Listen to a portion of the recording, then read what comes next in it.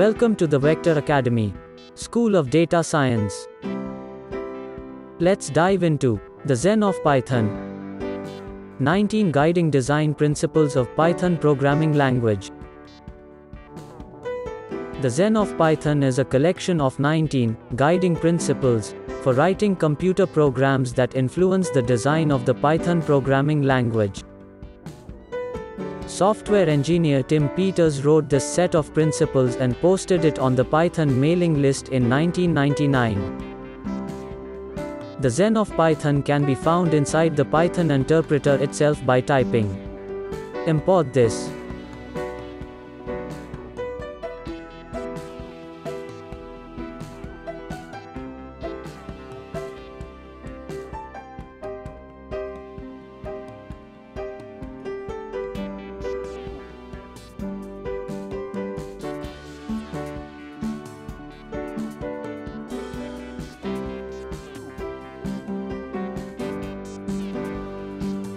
Beautiful is better than ugly. Explicit is better than implicit. Simple is better than complex. Complex is better than complicated. Flat is better than nested. Sparse is better than dense. Readability counts. Special cases aren't special enough to break the rules. Although practicality beats purity. Errors should never pass silently. Unless explicitly silenced. In the face of ambiguity, refuse the temptation to guess. There should be one, and preferably only one obvious way to do it